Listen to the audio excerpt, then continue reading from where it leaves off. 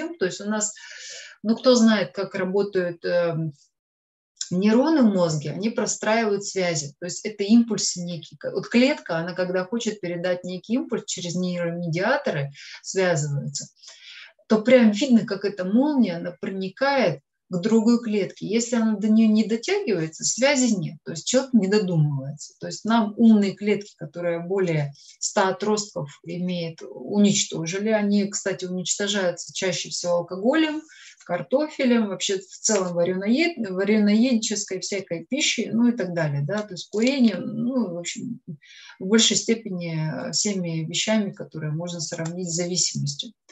Ну, то есть это наркотики, алкоголь, курение, все остальное. Чуть в меньшей степени, но, опять же, да, это питание.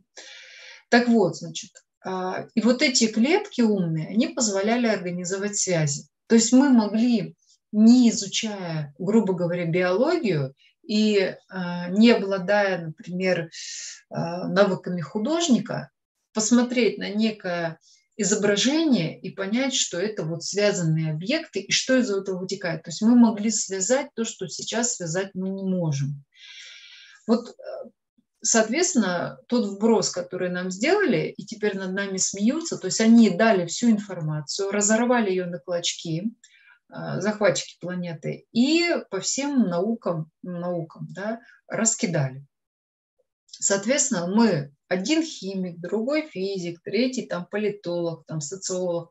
Собери всех вместе и скажи, что это все тривия, да, все, что вы скажете, это нужно объединить в единую, так скажем, ветвь, да, будущей цивилизации или сегодняшней цивилизации, тогда что-то стоящее будет. А если все разрознено, надо додуматься не дают. Так вот, Платоновы тела.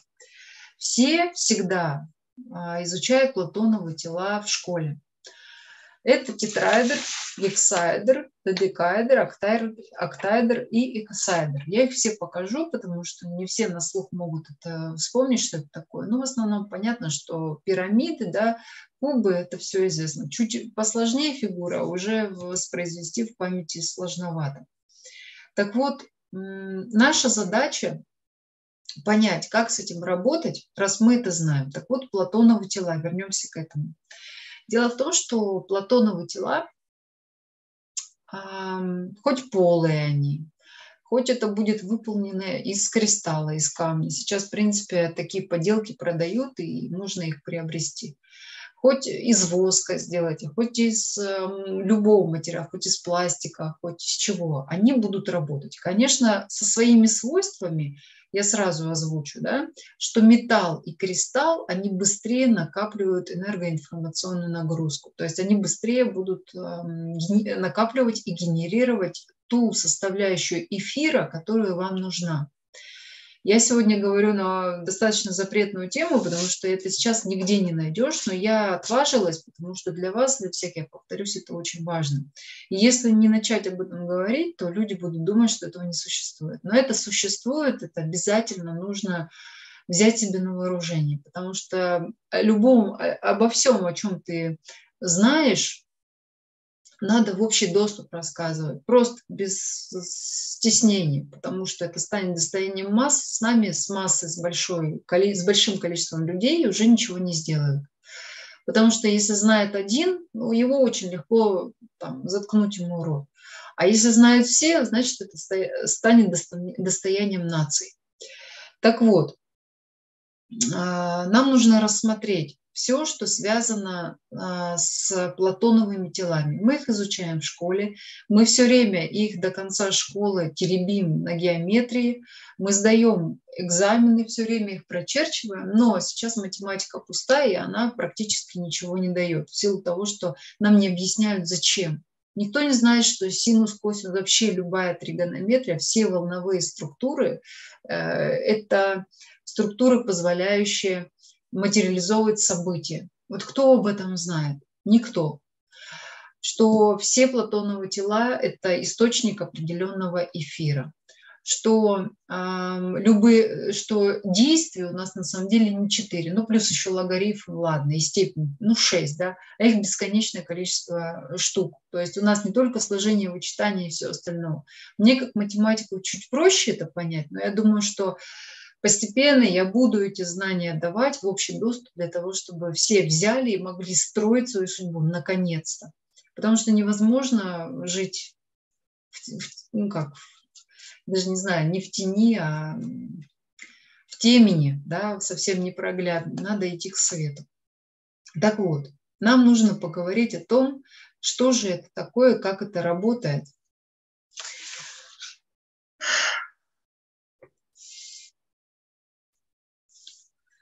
Начнем с воды.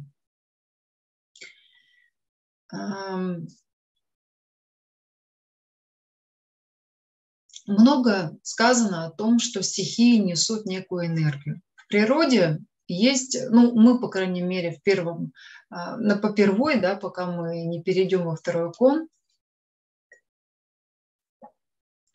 мы знаем, что есть самозародившиеся боги, ну, это Магощ, земля, Стрибах, воздух, Ярила, солнце и Купала, вода. То есть это самозародившиеся боги, которые, в принципе, давали энергию воды, солнца, ветра и земли. Соответственно, контакт с этими богами рождает набор определенного эфира, который и с ними связан. Но об этом мы сегодня еще будем говорить. Но мы, конечно, можем там медитировать на воду или там еще что-то, но есть некие объекты, которые из платоновых тел, которые их рождают. Так вот, огонь. Чем интересен огонь? А, мы знаем, что мысль, она огненная. И чаще всего мы додуматься не можем до чего-то, не потому что мы глупые, а потому что у нас не хватает именно эфира огня именно не хватает... Что такое еще огонь? Огонь – это действие, это активность. То есть вот мы видим, например, человека, у которого нет вообще энергии. То есть он устал, у него там какие-то там выжили на работе, еще там что-то случилось, но, соответственно, у человека вообще нет энергии. Где ее взять и как, при, как из человека сделать активным? Насытить его именно эфиром огня. Соответственно, фигура, которая отвечает за эфир огня, это тетраэдр. Это пирамидка. Вот он. Это пирамидка. Вот я уже сказала, да, что каждое платоново тело, оно соотносилось с определенным эфиром. Как же нам быть, вот мы эту, эту а, пирамидку имеем, тетраэдр у нас есть. Как с ним работать? Пока этот объект находится в вашем поле, он так или иначе будет этот эфир излучать. Ну, то есть, грубо говоря, там, где вы проживаете, желательно в каждой комнате, чтобы у вас стояла пирамидка. Теперь как, какие размеры должны быть у пирамидки? Было бы здорово, если бы размер пирамидки был приурочен к вашей мере. Что такое наша мера? Соответственно, ну я все перечислю, понятно, что их в большинстве своем они огромные, их не используют, да? но есть мелкие меры, которые можно взять на вооружение. Первое – это сажень от макушки до копчика. Вторая – это косая сажень, соответственно, длина позвоночника. Аршин – ширина плеч, плечо, локоть – две кости, ладонь, длина ладони, палец, 10 пальцев, длина каждого отдельно считается, дюйм и вершок. То есть у нас существуют 3D-принтеры. Можно измерить свои меры, найти человека, который занимается, и он ну, легко это все простроит. Потому что в программе ты загоняешь данные, что, там, например, такая-то грань имеет э, такие-то показатели. Соответственно, все это быстренько простраивается в течение, ну, условно говоря, 15 минут. Здесь размер не имеет роли. Вы можете сделать огромную пирамиду, которая будет соответствовать вашей сажене, а можете сделать а, ну, размер такой, чтобы это был, например, дюйм. Да? Это две верхние фаланги. А, главное, чтобы это было по вашей мере. Почему? Дело в том, что мы не любой эфир поглощаем. То есть мы можем, конечно, условно взять тот эфир, который есть в пространстве. Его, чтобы вы понимали, можно через вращение против часовой стрелки вокруг собственной оси. То есть вы стои, стоите, начинаете как суфии вращаться против часовой стрелки. Все инверсионные следы, все, что более или менее с вами сродственно энергоинформационно, вы в себя впитаете. Но это тот мусор, который нужно структурировать, потому что по своей квартире или по своему дому вы ходите там, условно говоря, там 12 часов в сутки. Естественно, инверсионный сет – это след энергоинформационный, который остается, он, ну, вот просто есть. И за, все, за все года, которые вы проживаете в доме, его огромное количество накопилось. И взять его можно именно вращением против часовой стрелки, вокруг собственной оси. А, но это, еще раз я повторюсь, это обломки ваших телодвижений, которые вы можете взять, но потом их придется структурировать. То есть это некая хаотичная масса а, потенциала, который потом еще придется перегонять в то или иное тело. Ну, физическое, астральное, ментальное, там, казуальное, душу, дух, ну, кому как удобно, если знаете как. Вот. Соответственно, почему, если мы берем пирамидку, сделанную по вашим мерам, то ничего не нужно будет структурировать. То есть это будет четко ваша энергия. И она будет вас изначально питать, потому что она приурочена, она по вашим мерам сделана. То есть э, мы знаем, что есть некий контур физический, и там есть волна. Так вот, когда волна в контуре начинает двигаться, вот этот вот верхний и нижний а, предел организуют ну, некий неправильный диапазон, как бы сказать. То есть он сроднен с вами. И, соответственно, эту энергию, эту волну вы можете взять.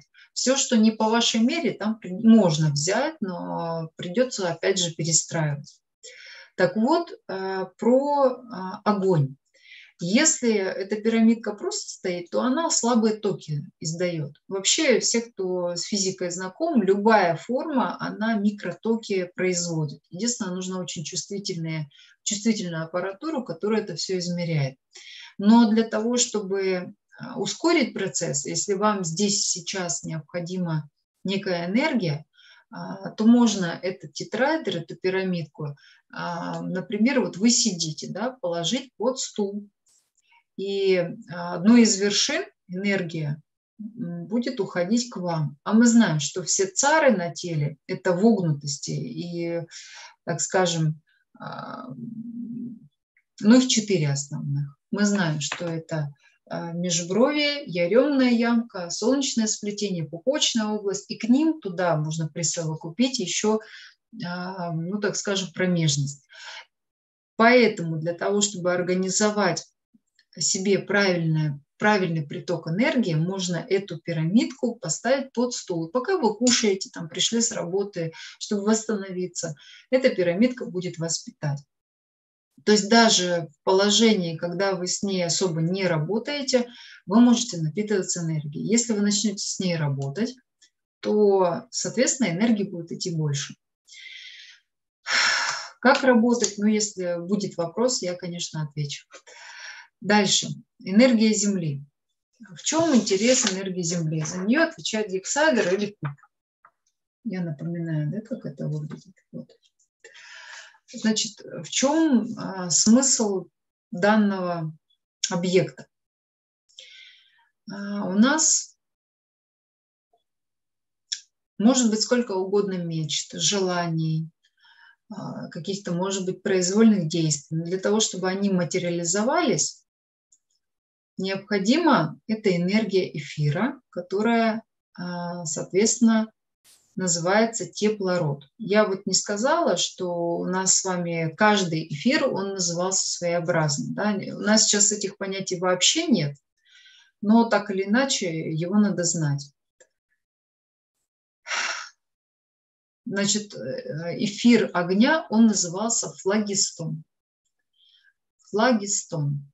То есть э, нам сейчас даже за это название уже может прилететь, но я уже сказала, что раз я это знаю, я все равно буду это озвучивать. Значит, энергия огня, она называется флагистон. Соответственно, если мы говорим о а, кубе, да, то есть об энергии Земли, называется теплород. Вот нам сейчас рассказывают, что якобы стекловолокно, вот по которому сейчас у нас вся информация идет, и мы везде его используем, если есть возможность. Это якобы достижение нашей цивилизации наивысшего. Но на самом деле это не совсем так.